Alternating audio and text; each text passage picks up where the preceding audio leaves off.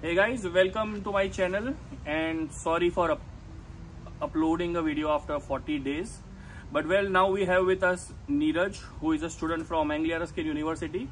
So without wasting any minutes, let's directly jump into the conversation with him.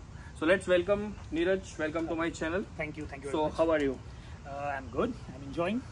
Okay, so can you just tell us briefly about yourself? Which course, which university, when did you come, how long has it been in the UK for you? Sure. So, hi guys. My name is Neeraj Kukreja, and uh, I'm pursuing my masters in project management. I came to United Kingdoms in September 2022. So it's been around 11 months that I'm in United Kingdoms right now. So you must be towards the end of your course now. Yes, my course is ending in September 23. Okay, so how was your experience so far with the university and overall living in Chelmsford? Okay, so I'll start with the university first because it's an uh, interview for the university. So the university is actually good. Uh, बहुत सारे है ना इसकी नाम सुने हुए थे और इनके ना बहुत सारे ब्रांचेज है।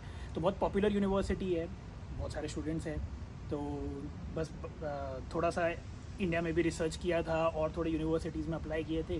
तो ये वाला यूनिवर्सिटी मुझे अप्रोप्रिएट लगा था। One of the first university who accepted my application तो फिर मैं इधर शिफ्ट हो गया। How is Chelmsford? Chelmsford Chelmsford is सच बोला जाए तो ऐसा है कि मैं एक्चुअली एक्सपेक्ट कर रहा था कि मैं लंदन या केम्ब्रिज जैसे बड़ी कोई तो भी सिटी में जाऊँ बट अब जाके ऐसा लग रहा है कि Chelmsford is actually better than London और केम्ब्रिज क्योंकि इतना क्राउड नहीं है कुछ नहीं चिल है एकदम each you enjoy your life तुम्हारे पास टाइम मिलता है स्लो है city it's a good city slow city है वो मुंबई ऐसी फास्ट रनिंग सिटी नहीं है तो इसके लिए बहुत अच्छा लगता है ऐसे इधर. By the way, where are you from India? I am from Nashik near Mumbai from Mumbai Chelmsford थोड़ा गाँव टाइप्स है शांत Actually. है अपॉर्चुनिटीज़ यू थिंक इनफ है इतने Uh, सारे स्टूडेंट्स के लिए? Frankly speaking not at all क्योंकि चैम्सफर्ड में ऐसा है कि इधर है ना कोई इंडस्ट्रियल हब नहीं है इधर कोई मैन्युफैक्चरिंग सेक्शन नहीं है। इधर मोस्टली है तो ट्रांसपोर्टेशन का है थोड़े से हब्स है ट्रांसपोर्टेशन के। तो जो भी स्कोप है मे भी उससे ही रिलेटेड है और बहुत ज़्यादा टीचिंग से रिलेटेड जो हम आगे जाएँगे उसके बारे में बात करेंगे। So mark his words guys इधर स्कोप है ट्रांसपोर्ट और उसके लिए रिलेटेड चीज़ों के लिए। इसीलिए मैं हमेशा बोलता हूँ सप्लाई चेन मैनेजमेंट करो बेस्ट है। इधर जॉब्स काफ़ी है सप्लाई चेन मैनेजमेंट के बाद अगर किया है तो। But that is only if you have skills and experience back in India yes definitely experience बहुत बहुत- इंपॉर्टेंट है। उसके बिना कोई तुम्हें भाव देगा नहीं। कहीं पे जॉब नहीं मिलेगा। एंड आजकल तो मुझे बहुत मैसेजेस आ रहे हैं फ्रॉम फ्रेशर्स कि अभी ग्रेजुएट हुआ हूँ क्या करना चाहिए? मैं मुँह पे मना कर देता हूँ भाई मत आओ। तुम्हारा भी टाइम वेस्ट मत करो मेरा भी टाइम वेस्ट मत करो। पैसे वेस्ट मत करो। पैसे तो बिल्कुल ही वेस्ट मत करो। एक्स्ट्रा बड़े हैं तो इंडिया में कुछ कर लो पर इधर मत आओ। और भले ही तुम्हें दस हज़ार की जॉब मिले बट डू डैट थोड़ा स्किल्स और एक्सपीरियंस अच्छा रहेगा। एक्सपीरियंस इतना ज़्यादा इंपॉर्टेंट है क्योंकि अभी मैं इधर यूनिवर्सिटी में बहुत लोगों को जानता हूँ और मतलब अराउंड मेरे हिसाब से एक सिक्स सेवन मैक्स टेन लोग रहेंगे जिनको जॉब लगा है। एंड ऐसा बोलूँगा मैं मोर देन सेवेंटी परसेंट वो लोग हैं जो सप्लाई चेन से हैं। क्योंकि सप्लाई चेन का इंटेक भी बड़ा होता है। बाकी प्रोजेक्ट मैनेजमेंट जिससे मैं खुद पास आउट हो रहा हूँ मेरे क्लास में तो एक भी नहीं है जो पास जिसको है ना जॉब लगी है करके ऐसे। तो लोग कैसे कर रहे हैं? अननेसेसरी मतलब आप एक कोर्स करने के लिए आओ तो आपका एक्सपेक्टेशन होता है उसी कोर्स से रिलेटेड आपको कोई जॉब लगे और आपको फिर स्विच करना पड़ता है। तो अगर आप ऐसा कुछ कोर्स कर रहे हो जिसमें आपको एक्सपीरियंस भी है तो ऑटोमेटिकली आपका फ़ील्ड ऑफ़ एक्सपर्टीज उससे ही लिंक करके जाता है तो आपको अपॉर्चुनिटी भी अच्छी मिलती है। सही बात है। सो so, अभी जो दस महीने हुए तुम्हारे so obviously you will be working part time somewhere yes बीच में फुल टाइम भी कहीं पे किया होगा। So can you tell tell us a little bit about your part-time job journey? Easily job मिल गया था रेफरेंस से मिला था वॉक इन से मिला था इंडीड लिंक्डइन से मिला था। कैसा था वो एक्सपीरियंस ओके सो फ़र्स्ट जब मैं यू के आया था तो मेरा अकोमोडेशन यूनिवर्सिटी में था तो इसके लिए मैंने डायरेक्ट यूनिवर्सिटी में ही सबसे पहले पिच किया था। तो यूनिवर्सिटी का खुद का एक ए आर यू टेम्स करके सेक्शन है, जहाँ पे आपको है ना जल्दी से अपॉर्चुनिटीज़ मिलती है। तो मैंने स्टार्ट पहले उधर से किया था around one one and half month मैं यूनिवर्सिटी में पढ़ा रहा था, सिखा रहा था सॉरी काम कर रहा था कैफेटेरिया में काम कर रहा था। उसके बाद फिर मुझे पता चला कि दिसंबर से ना क्रिसमस हॉलीडेज वगैरह चालू होने वाला है एक महीने का ऐसे तो मैंने बोला कि यूनिवर्सिटी तो बंद हो जाएगी हम्म। पे वगैरह सब बंद हो जाएगा तो फिर मैंने एक महीना पहले ही चालू कर दिया था जॉब सर्च करने के लिए। कहाँ पे किया था ये? और फिर मेरे को मैंने जो फ़र्स्ट जॉब अप्लाई किया वो एक्चुअली मैकडोनल्ड्स में अप्लाई किया। वन ऑफ़ माई फ्रेंड जो आप इधर सब्सक्राइब भी किया हुआ है उन्होंने चरण ही। Is one of my friend तो हम लोग साथ में बैडमिंटन खेलते थे। तो उसके रेफरेंस से मुझे मैकडोनल्ड्स में लगा था। फिर अच्छा लगने लगा एकदम उधर काम करने में रेगुलरली कर ही रहे थे। और पे अच्छा आ रहा था। अपने जो बेसिक नेसेसिटीज़ है वो सारी पूरी हो रही थी तो फिर अननेसेसरी ऐसे ही ना अर्ज़ नहीं पड़ी कि इसको शिफ्ट करके दूसरी जगह पे किधर जॉब देखें करके ऐसे मैकडोनल्ड्स में जॉब करने का कोई फ़ायदा है? इजीली मिल जाता है वो एक फ़ायदा है। यानी इजीली नहीं मिलता है क्योंकि बात ऐसी हो जाती है ऐसी कि अगर आपका रेफरेंस है Reference, और अ, उन लोग अगर वो रेफरेंस को वैल्यू करते हैं हाँ, तो हाँ। मिलता है। अभी जैसे अगर मेरा रेफरेंस कोई लगाएगा मैकडोनल्ड्स में तो मे भी उसको मिल सकता है। मगर एक नॉर्मल क्रू मेंबर रहेगा उसका तो- अगर रेफरेंस लगाया तो लोग मोस्टली कंसिडर भी नहीं करते हैं. ऐसे। और मैं तो डायरेक्ट मैनेजर का लगाया था रेफरेंस तो इसकी वजह से लग गया था। है। बट मैकडोनल्ड्स में काम करना बहुत डिफ़िकल्ट है। मगर ऐसा है कि अगर आप मैकडोनल्ड्स में काम कर सकते हो तो आप यूके में आप किधर भी काम कर सकते हो। लिटरली वो सेंस है ऐसे। क्योंकि बहुत हेक्टिक जॉब है बहुत कंटिन्यूस काम वगैरह रहता बहुत है बिज़ी भी रहता बहुत है। सिटी सेंटर वाला मैकडोनल्ड्स ऑलवेज कोई भी मैकडी एक्चुअली बहुत बिज़ी रहता है। सो मैकडोनल्ड्स में पार्ट टाइम किया फिर यूनिवर्सिटी में भी काम किया। Did you work anywhere else मैंने बीच में एक टीचिंग अपॉर्चुनिटी थी उसके लिए भी काम किया था। छोटे आई थिंक जो थ्री फोर इयर्स के बच्चे थे। मगर वो इतना इफ़ेक्टिव हुआ नहीं क्योंकि वो एक प्राइवेट ऑर्गेनाइजेशन हम्म। था जो सेट नहीं हुआ था। तो उनके थोड़े जॉब प्रोसेसेस हाँ। डिफ़िकल्ट थे तो इसकी वजह से वो है ना वर्कआउट नहीं हुआ। थोड़ा टाइम काम किया लेकिन फिर वो इतना इफ़ेक्टिव नहीं लगा इसमें। सो दस महीने ग्यारह महीने पार्ट टाइम जॉब्स किया बीच में क्रिसमस में फुल टाइम जॉब किया अभी समर चल रहा था तो फुल टाइम किया होगा। Yes. फाइनेंसेस कैसे मैनेज हो रहे थे? सिर्फ़ part time full time N I jobs से ही। Yeah. तो मैंने तो सिर्फ़ एन आई जॉब किया है। मैं कैश एन के पीछे गया ही नहीं था बिल्कुल भी। क्योंकि वो मतलब अननेसेसरी मुझे रिस्क नहीं लेना था और मेरा मेन कंसंट्रेशन ये था कि मैं इधर आया हूँ मेन पढ़ने की इंटेंशन से आया हूँ। अगर मैं काम के पीछे पड़ गया क्योंकि एक बार कैश एन आती है तो फिर बच्चे उसमें ही चले जाते हैं और उनकी लाइफ वैसी ही कंटिन्यू होती है। तो वो पहले से ही था दिमाग में कि वो करने का नहीं है। तो मैकडोनल्ड्स में भी अराउंड 800 850 के रेंज में कुछ तो भी है ना पर मंथ आता था। Eight fifty pounds per month max उससे ज़्यादा नहीं आता ऐसे। और मेरा जो यूनिवर्सिटी अकोमोडेशन है वो बहुत ज़्यादा एक्सपेंसिव है। तो अराउंड मेरा 580 590 तक है ना यूनिवर्सिटी अकोमोडेशन का ही एक्सपेंस रहता था।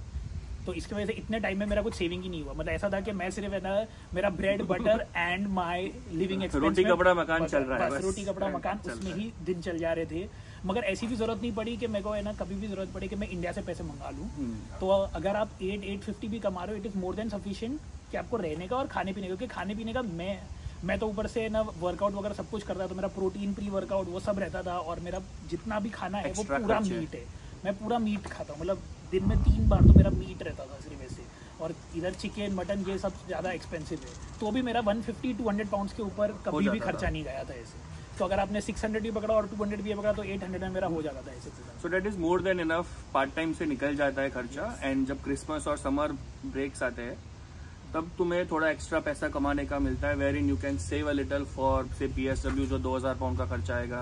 जो अभी तीन होने वाले हैं। अभी तीन होने 28 2900 कुछ तो हाँ तो वो बढ़ जाने वाला है तो वो खर्चे के लिए तुम बचा सकते हो एंड उसके बाद पूरी लाइफ पड़ी है फ़ीस भरने के लिए पापा मम्मी को या बैंक को रिटर्न करने के लिए। सो और लेट्स दूसरा एक और उसमें सॉरी हाँ लेट्स एक और इसमें ये है कि ना मोस्टली जब तक आप स्टूडेंट हो ना जब तक आपका कोर्स खत्म नहीं हो रहा है तब तक आप है ना पी के पैसे के बारे में सोचो ही मत। क्योंकि अगर आप वो सोचोगे ना तो आप अपनी लाइफ भी नहीं इंजॉय कर पाओगे। इनिशियली बस इतना देखो कि एवरी मंथ का आपका खर्चा निकल रहा है क्योंकि फॉर एग्जांपल अगर आप सितंबर इनटेक में आ रहे हो तो आपका सितंबर में खत्म हो रहा है और आपका पीएचडब्ल्यू जो है वो आपको फरवरी या जनवरी एंड में आपको अप्लाई करना है।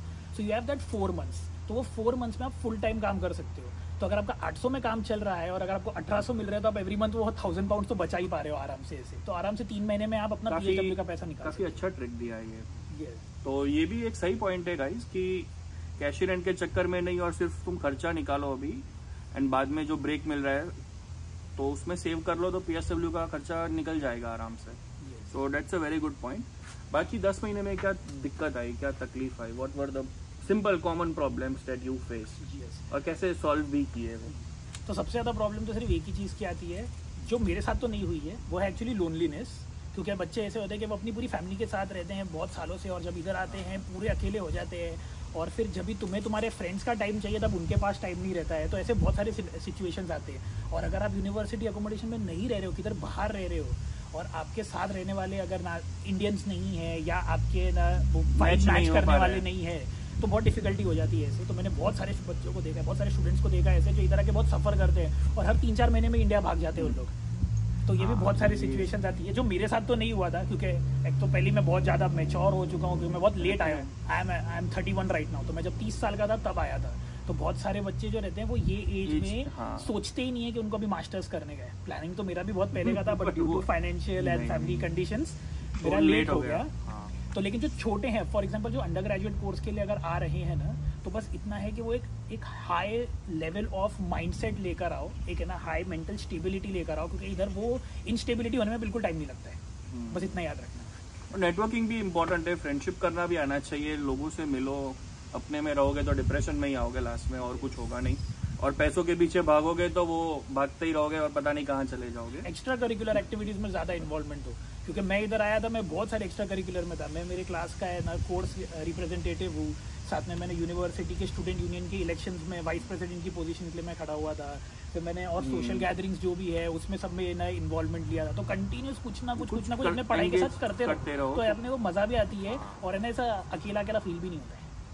तो ये सही बात है कि ऐसा ही करना चाहिए actually I think it's a good very good point in fact कि थोड़ा दोस्ती करो नेटवर्किंग करो involve yourself in extracurricular activities तो थोड़ा अच्छा भी रहता है. And having said that doesn't mean कि तुम नेगेटिव वाले भी वाइब्स जो देते हैं स्टूडेंट्स उनके साथ एंगेज करो. क्योंकि वो भी बहुत होता है and I know a lot of people जो ये फंस चुके हैं इस yes. चिंगुल में. एक्चुअली वो तो- बोलते ना कि ना जब भी आप अब्रॉड आते हो ना तो आपके पास ना दो ट्रैक रहता है. एक तो आप फिटनेस फ्रीक बन जाते हो नहीं तो आप नशेड़ी बन जाते हो। बन जाते हो ऐसे तो ये दोनों रास्ते से हटके बीच में से रास्ता निकालो दोनों बैलेंस करके तो अच्छा रहेगा आप लोगों के लिए। So when you came in as a student did you come alone single या you came with a spouse married है या नहीं? नहीं I am not married I am single तो मैं अकेला ही आया था यूनाइटेड किंगडम्स ओके और दूसरी चीज़ ये पूछनी थी कि इंडिया में क्या एक्सपीरियंस था? Since you said you are 30 31 years old so you would have substantial experience before coming here थोड़ा अच्छा खासा एक्सपीरियंस होगा इंडिया में। यस यस तो एक्चुअली बैचलर्स किसमें था पहले और फिर एक्सपीरियंस या तो मेरा बैचलर्स हुआ है मैकेनिकल में so I am mechanical engineer और uh, उसके बाद से ही मैंने तुरंत है ना टीचिंग स्टार्ट कर लिया था क्योंकि थोड़े से स्किल्स थे टीचिंग रिलेटेड तो Hmm. टीचिंग चालू कर दिया। फॉर अराउंड एट इयर्स मैंने टीचिंग किया है जिसमें लास्ट फाइव इयर्स जो था वो मेरा खुद का ही ऑर्गेनाइजेशन था जिधर मैं सिखाता था। मेरे पास खुद के पास स्टाफ थे अराउंड ट्वेंटी ट्वेंटी फाइव हमारे स्टाफ मेंबर्स थे। तो हम सब मिलके ही नासिक में ही? नासिक में यस हमारे ना चार ब्रांचेस थे। So I was completely into engineering technical teaching और साथ ही साथ मतलब कैसे क्योंकि बहुत सारा फाइनेंशियल प्रॉब्लम्स है तो मैं साथ ही साथ मेरा है ना इंडस्ट्रियल एक्सपीरियंस भी था। तो एक दोस्त की कंपनी थी जहाँ पे मैं उसको है ना मदद भी करता था ऐसे करके। तो मतलब बस इतना ये था कि मेरा कोई टाइम लिमिट नहीं था उधर जाने का। तो मैं कभी भी जाता था और मेन उनका है ना क्योंकि मैं स्टोर मैनेजर की पोजीशन पे था। तो फिर मतलब तो भी मैं तो भी दिन में अराउंड फोर फाइव आवर्स उधर निकालता ही था जो मेन पीक पीरियड रहता था जब ये ना स्टॉक काउंटिंग रहता है या जो जो भी इन्वेंट्री मैनेजमेंट हाँ, और प्रोक्योरमेंट का जो प्रोसेस रहता है उसके लिए तो फिर मेरे पास इंडस्ट्रियल एक्सपीरियंस भी था और मेरे पास टेक्निकल टीचिंग एक्सपीरियंस था? टीचिंग में था या इंडस्ट्रियल एक्सपीरियंस में मेन इंटरेस्ट तो मेरा टीचिंग में ही था क्योंकि उसमें मज़ा आती थी यार बात करने को मिलता है यार बच्चों को अपन कुछ मदद करते हैं ऐसे ही, क्योंकि बहुत सारे और कैसे जैसे जो कंडीशन इधर के हैं वही सेम कंडीशन इंडिया में भी है। बस इंडिया में एक ऐसा है कि आपके पास है ना कोई तो भी एक सीनियर पर्सन है जिसके साथ आप शेयर कर सकते हो। इधर आपके पास वो कोई नहीं होता है क्योंकि हम लोग ने देखा हमारे स्टाफ ऐसे हैं वो अपने टाइम पे आएँगे लेक्चर के चले जाएँगे उनको कुछ भी पर्सनल ये बोला तो वो बोलेंगे काम करो यूनिवर्सिटी के ना मेंटल ईमेल डालो या mental. Peer mental peer Well-being well के इधर- सेंटर में डालो ये सब। तो टीचिंग में इंटरेस्ट था। यस तो मेरा स्टार्टिंग से ही टीचिंग में इंटरेस्ट था। तो पाँच साल five years plus experience Eight years. Eight years of experience तो ऑब्वियसली पाँच साल जब बंदा टीचिंग करता है तो स्किल्स तो होंगे ही उसमें। एंड खुद का सेंटर चला रहा है तीन चार तो ऑब्वियसली बहुत ही स्किल्स होंगे एक्सपीरियंस भी है। तो जॉब मिलना तो काफ़ी ईजी हो जाएगा इधर आई थिंक तो तुम. You are towards the end of your course तो क्या सीन चल रहा है? अभी जॉब मिल गई मिल रही है टीचिंग में अप्लाई किया है। Can you tell us briefly कि क्या प्लान है अभी? क्योंकि कोर्स तो ऑलमोस्ट खत्म ही हो गया खत्म ही हो गया एंड चल रहा है। हाँ बस वो तो हो जाएगा वो टेंशन नहीं है। तो क्या है जॉब का उसके बाद? सो so, मैं जब भी यूके आया था तो मेरा ऐसा था कि मैंने ईयर्स टीचिंग किया हुआ था तो मैं ऐसा सोच रहा था कि चलो फ़ील्ड छोड़ते हैं कुछ कभी दूसरा करते हैं कि ना let's try some management side of industrial management side तो इसलिए मैंने इधर प्रोजेक्ट मैनेजमेंट का कोर्स सिलेक्ट किया था। तो क्योंकि थोड़ा सा एक्सपीरियंस भी था स्टोर मैनेजर का तो मैंने सोचा कि वो करते हैं। लेकिन इधर ऐसा है कि इनको स्पेसिफिकली प्रोजेक्ट मैनेजर की पोजीशन वाला ही पर्सन चाहिए। तो मेरे को वही एक वियर्ड लगता है कि अगर मैं इधर प्रोजेक्ट मैनेजमेंट का कोर्स करने आ रहा हूँ तो उससे पहले मेरे पास प्रोजेक्ट मैनेजर मैनेजर का रोल कैसे हो सकता है एक्सपीरियंस कैसे हो सकता है। तो बस एक वही था तो मैंने मैं एक्चुअली मार्च से चालू किया था। तो मेरा हम्म। सितंबर में खत्म हो रहा था तो मैंने मार्च से जॉब एप्लीकेशन चालू किए थे। मैंने अभी तक अराउंड मोर देन 200 एप्लीकेशन करके रखे होंगे मेरा टीचिंग या कोई भी? General general every project management related and teaching related but teaching related में इतना जा नहीं रहा था क्योंकि मेरे को फ़ील्ड से दूसरा कुछ करना था। हम्म। तो इसलिए मैं टीचिंग से थोड़ा सा दूर देख रहा था। मगर वो बोलते हैं ना कि जिधर दाना पानी लिखा रहता है जिसमें इंटरेस्ट है उसमें Yes. ही लास्ट में तो होना है जिसमें एक्सपीरियंस भी है। यस तो ऐसा हो गया कि पिछले एक महीने में मेरे पास दो अपॉर्चुनिटीज़ आई और दोनों अपॉर्चुनिटीज़ टीचिंग से रिलेटेड थी। तो फिर मैंने बोला बस वो गुरु हमारा साथ दे रहे हैं। तो फिर गुरु के रास्ते पे निकल चले। एआरयू में?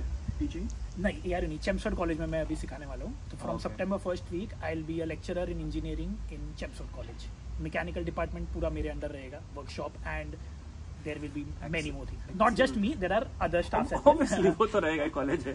यस अभी तो तू जस्ट ज्वाइन करेगा so obviously that will be there but guys एक सिंपल चीज़ जो हर वीडियो में मैं बोलता हूँ, फिर से बोलूँगा, आप चाहे थक जाओ सुन सुन के स्किल्स और एक्सपीरियंस है तो जॉब मिलेगा। एक और एक एग्ज़ाम्पल मैं तुम्हारे सामने लेकर आया हूँ।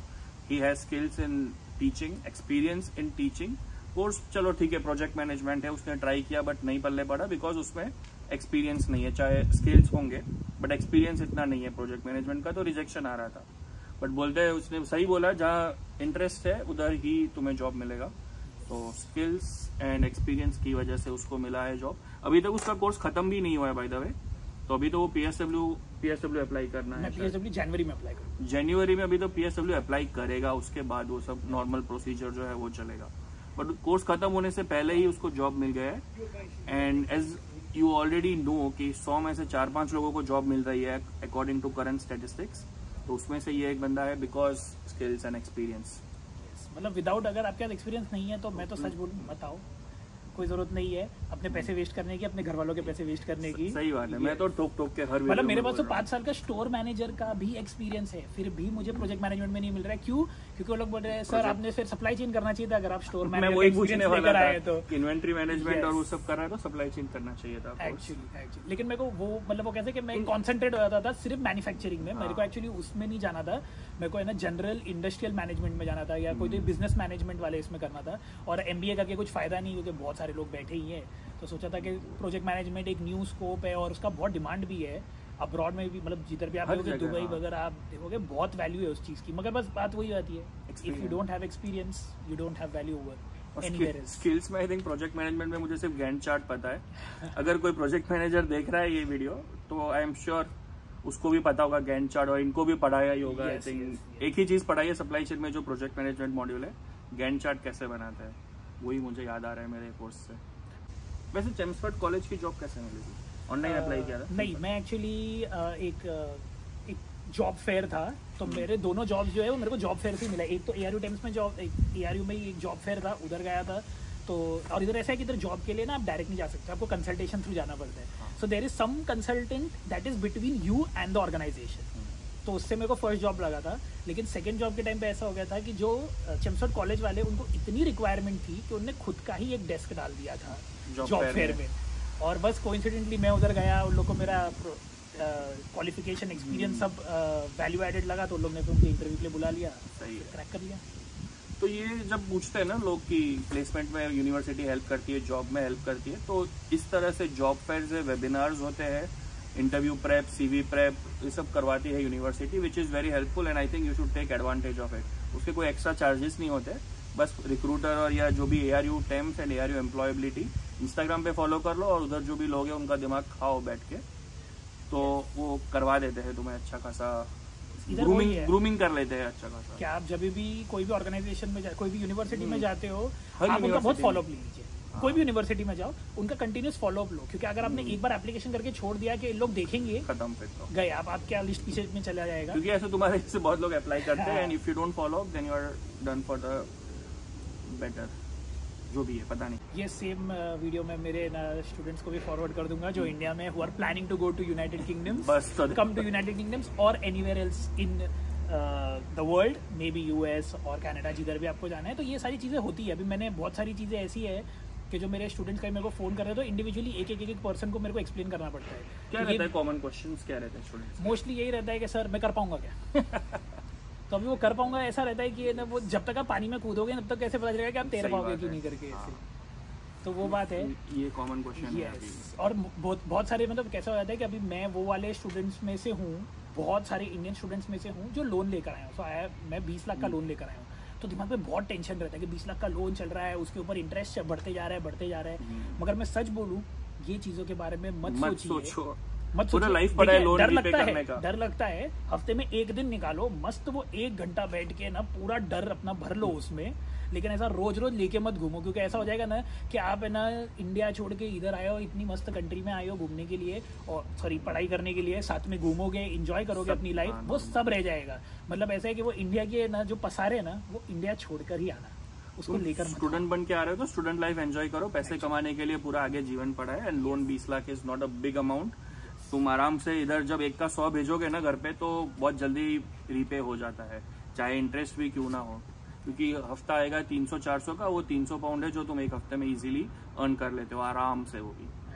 तो लोन रीपेमेंट और पापा मम्मी को भी अगर इंटरेस्ट फ्री पैसे देने हैं वापस तो उतना स्टूडेंट लाइफ में मत सोचो। You have the full life ahead of you to earn and send it back and repay to whoever you हो but anyways let's end this video now और कोई क्वेरीज हो इससे कनेक्ट करना हो तो you can always comment below I don't think कि social media पे are you okay people following you connecting with you issues, no issues. तो अपना आईडी बता दे एक बार। इट्स नीरज अंडरस्कोर कुकरेजा ये मेरा इंस्टाग्राम का आईडी है। हम्म। तो आपको चाहिए तो आप कभी भी मैं नीचे डिस्क्रिप्शन में डाल दूँगा एंड लिंक्डइन पे भी है। या लिंक्डइन पे भी हूँ मैं। बट ऐसा मत करना मेरे को जैसे करते हो कि हर जगह पे सेम मैसेज छाप देते हो एक ही जगह पे कनेक्शन करना है। Instagram is the best way I think that will be the quickest way to connect with him and बाकी कोई क्वेरीज है that you want directly from him और अगर रिप्लाई नहीं आ रहा है तो मुझे कमेंट में नीचे बता देना। मैं आपको बता दूँगा इसको पूछ के या फिर I will find it out